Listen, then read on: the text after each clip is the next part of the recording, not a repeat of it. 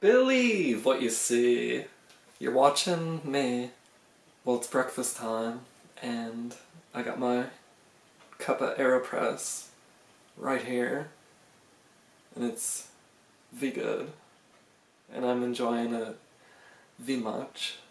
I picked up this big ass box of Reese's Big Puffs uh, when I was shopping for TP the other day. So I'm jazzed to finally be able to try this because I really dug the uh, the regular version of the cereal.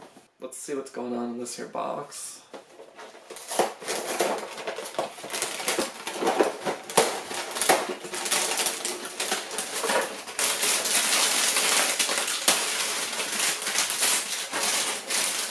Dudes, these things are pea huge. Uh, they're kind of like cheese balls size. Mm, who wants to see me put these big balls in my mouth?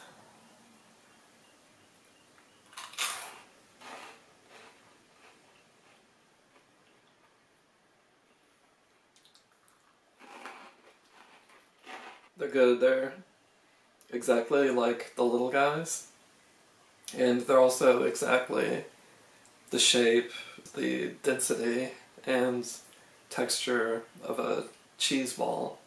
Let's throw some milk on these MFs. I picked up oat milk and it's RL good, but I hate shaking it. Sometimes I forget to, and the taste is a little off. Look at these big dry guys just itching for some milk. Mm.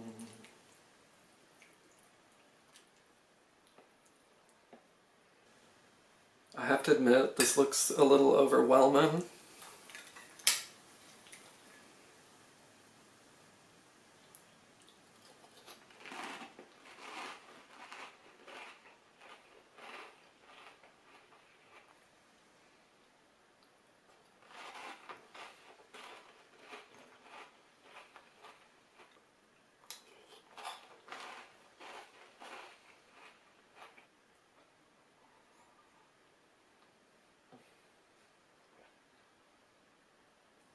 Surprisingly, uh, I don't really like them. I feel like the regular ones are way better and uh, have more flavor and are ultimately easier to eat. These things, I can't stop thinking about cheese balls to where like after the first crunch or two, you start tasting that nasty soggy texture that accompanies. It's fun that they're all big, but ultimately uh, stick with the regular ones by far. That's all I got for you guys right now. Uh, if you liked this video, hit that like button.